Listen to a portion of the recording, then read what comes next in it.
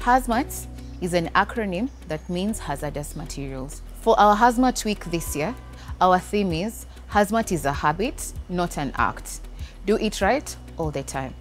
What we look forward to throughout this week is that it will change the culture of hazmat across the institution and that staff will understand we don't only put emphasis on hazmat just because we have an audit coming up or an inspection, but it is our way of life, what we do every single day. Our objective is to raise our level of awareness and improve our culture of safety around hazmat.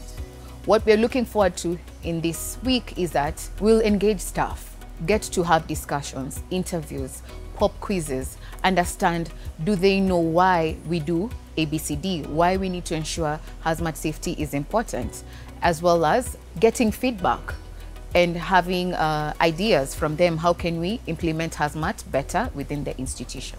To bring your understanding of hazmat closer home, I can mention a few items that we use within our households that are considered to be hazardous. A good example is cleaning detergents, such as bleach or what we use to clean our bathrooms. An example in the kitchen is the LPG gas that we use for cooking. It's flammable and unexplosive. At the workplace, specifically here at Aga Khan University Hospital, we have different types of hazardous materials and waste.